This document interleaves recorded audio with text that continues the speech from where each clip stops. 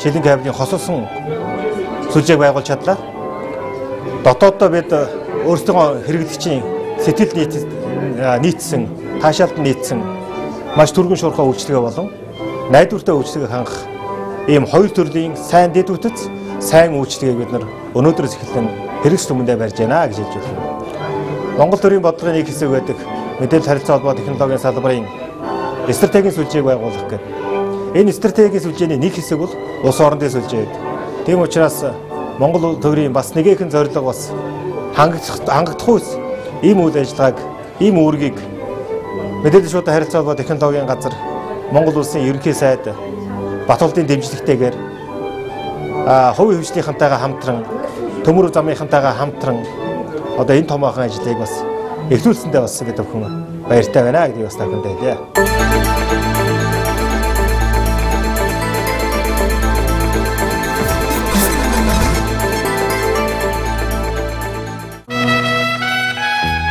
Аз Европын чиглэлүүдээр дамжин өнгөрч буй мэдээллийн урсгалыг Монгол улсаар дамжуулан өнгөрүүлэх судалгаа, харилцан яриа, хөрш орнуудын мэдээлэл холбооны томоохон операторууд болох Оросын холбооны улсын Транстелеком, бүгд найрамдах Хятад ард улсын China Telecom компаниудтай 2005 оноос хийгдэж эхэлсэн байна.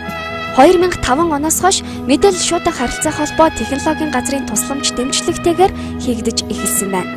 2008 онд Монгол улсаар дамжин өнгөрөх транзит урсгал нь олон улсын стандартад нийцсэн харилцан нөөц хамгаалалттай шилэн кабелийн сүлжээгээр явагдах зайлшгүй шаардлагатайг дээрх компаниуд дурдан хэрв дээрх болцос шаардлагыг Монгол улс хангавал транзит урсгал явуулах боломжтой хэмээн зөвшөөрсөн юм.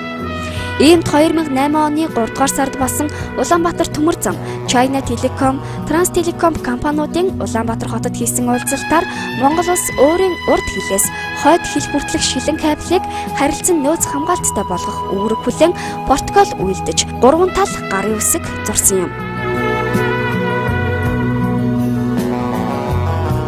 Транстелеком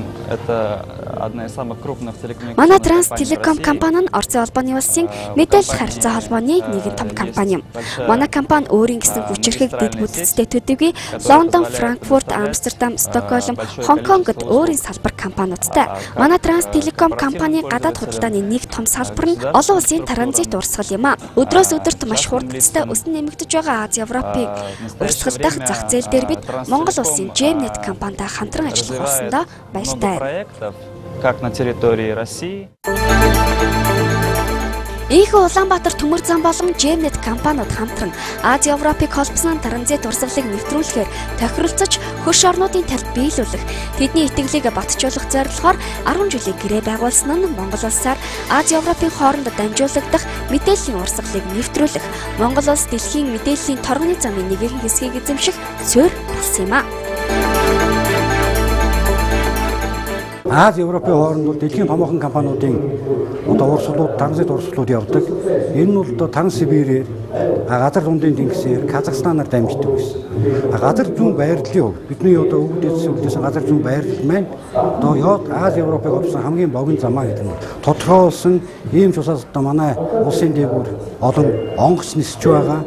Тэгэхээр бол ийм замыг ашиглаж биднүүд ерөөсөө Аз Европын хоорондох мэдээллийн сурчид Монголоор дамжуулъя гэдэг ийм зорилготойгоор ажилласан юм.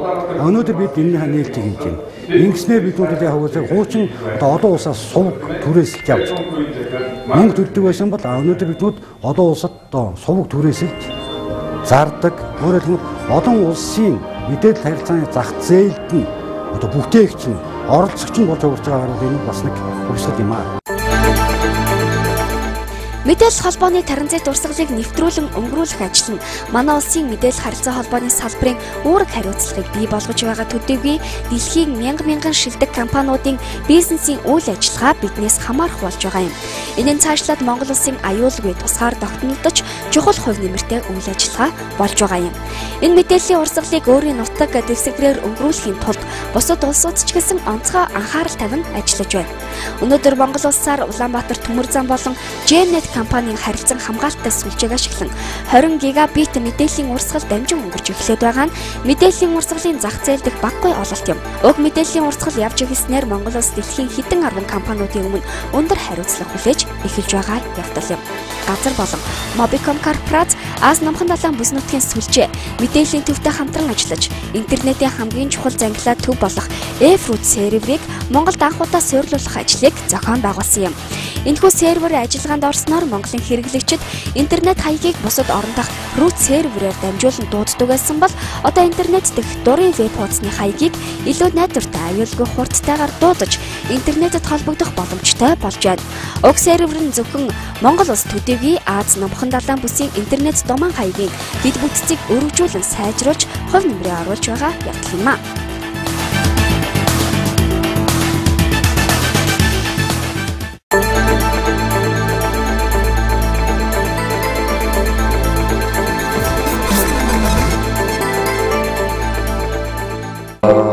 Mobicom-ийн хувьд, группийн хувьд манай улс нийт компани энэ жил WiMax үйлчилгээг одоо Цэцгөө WiMax үйлчилгээг бол оруулж байгаа.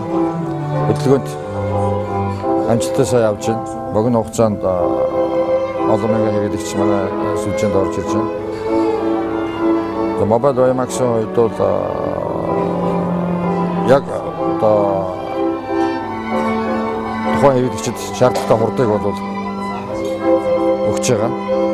Ямар гэрээ хийсэн хурд, гэрээн дээр ямар одоо хурд тухайн хэрэглэгчид тийм ээ гэрээ хийсэн тэр хурдаа бол яг өгдөг юм нэг онцлогтой шеэрлдэг. За манай хом интернетийн хувьд бол мобинет манаас үнэ амжилттай ажиллаж байгаа. Энэ жил 25 мянган гаруй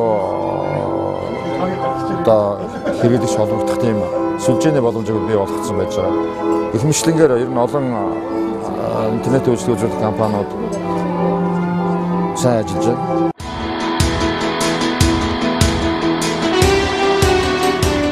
Олон улсын транзит урсгалыг өөрийн газар нутгаар өнгөрүүлэх нь Монгол улсын хувьд экспортын бизнесийн шинэ брендийг бий болгож байгаа чухал ач холбогдолтой юм. Төмөр замын болон агаарын тээвэр мэдээлэл холбооны чиглэлээр торгоны замаа улам тодруулах, өргөдгөх, ашиглах боломжийг бидэнд олгож байна. Цаашид бид дамжин өнгөрөх мэдээллийн урсгалын хэмжээг улам нэмэгдүүлэхийн тулд олон улсын шилэн кабелийн тараасыг Монгол улсын харилцаа холбооны хуулийн хүрээнд хамгаалах уг кабелийн трас дээр зам барилгын ажлыг дураараа хийх, кабелийг таслах, явдлыг таслан зогсоох боломжтой болж байгаа юм. Манай улсын иргэн аж ахуй нэгж бүр үүнд анхаарлаа хандуулан хариуцлагатай ажиллах нь цаашдын зорилт юм а. Ийхүү манай улс мэдээллийн 21-р зуунд мэдээллийн технологийн хэрэглэгч нь байгаа зогсохгүй хамтран бүтээгч нь байх үе таалга нэгдэж байна. Ази Европын мэдээллийн транзит урсгал нь Монголоор дайран өнгөрөхөд гол үүрэг гүйцэтгэж байгаа Монголын талын компани болох Gemnet компанийг танилцуулъя. Gemnet компани нь 2008 оны 8 дугаар сард олон улсын болон орон нутгийн мэдээлэл холбооны сүлжээний чиглэлээр ажиллах зорилготойгоор байгуулагдсан Монголын анхны хувийн үндэсний мэдээлэл холбооны сүлжээний компани юм. Gemnet компани нь дэлхийн мэдээлэл холбооны сүлжээний шилдэг компаниуд болох Орос улбаны улсын Транстелеком, Бүх найрамдах Хятад ард улсын China Telecom болон интернетийн үндсэн порт эзэмшигч Америк нэгдсэн улсын Level 3, Английн Interroute, Америк нэгдсэн улсын Global Crossing зэрэг компаниудтай түшийн харилцаатай ажилладаг юм. Тус компани нь Монголын ард түмэнд оюуны хөрөнгө оруулалт болсон интернетийн хурд чанарыг олон улсын түвшинд хүргэж, багтаамж болон хурдыг нэмэгдүүлэх, үнийг аль болох бууруулах чиглэлийг баримтлан ажиллаж байна. Интернетийн үйлчилгээ хөдөө орон нутагт болон боловсролын салбарт хямд үнээр чанартай хүргэх зорилгоор интернет хангагч компаниуд болон бусад сүлжээ компаниудтай нэгт хамтран ажиллаж байна. Үүний үр дүнд Монгол Улсын зах зээл дэх интернетийн үнийг 30-аас 35%-аар бууруулан багтаамжийг хоёр дахин нэмэгдүүлж, хамгаалалттай интернетээр Монгол Улсын нийт гадаад интернетийн зах зээлийн 80 орчим хувийг хангаж байна. Интернетийг бүрэн хамгаалттай болгосон асуудал байна. Урд нь бол биднүүд одоо интернет авахдаа бас мөнгөч баг байлаа, хямдыг хараад хятадын одоо дотоод сүлжээнд юм уу эсвэл одоо синктэл одоо солонгосын компани дотоод сүлжээнээс интернет авдаг байсан. А бид одоо өнөөдөр яасан бэ гэх зэрэг Улаанбаатараас одоо Лос Анжелес хүртэл сувгийг бүрэн авч Лос Анжелест өөрийн Монгол улсын өргөдрийг суулгаад интернет авч ирсэн. А мөн хойш одоо Лондонд, Франкфуртд одоо өөрийн өргөдрийг тавьж интернет авч ирсэн юм. Энэ яг урд нь одоо интернетийг авч яхад хідэн кабель дасархад Монгол улс тэрчхээр 4-өөс 6 цаг интернетгүй харанхуй байдаг байсан. Энд бол яг үгээр одоо гişээдэн авч байгаа хүүхдээс ахуулаад одоо мэрэгжлийн байгууллагууд өвөө ээжл одоо хүүтэйгээ мессенжерээр ярихсан ээж ухамддаг, хүлээдэг ийм байдалтай байсан. А юм учраас Улаанбаатар төмөр замтай нийлээд шилэн кабелийн харилцан хамгаалт хийж А мөн дээр нь Америкийн одоо ятаар дамжиж ирж байгаа урсгал а Европын одоо Оросоор дамжиж ирж байгаа урсгалыг авч аль нэг чиглэлээс интернет тасардвал Монгол улс хизээч интернетээр харанхуй болдоггүй ийм байдлыг бий болгосон нь тодорхой хэмжээгээр энэ салбартаа хийсэн томоохон хувьсгалаа гэж. Өөрөөр хэлбэл интернетийн орчинд ажиллаж байгаа маш олон компаниуд байна.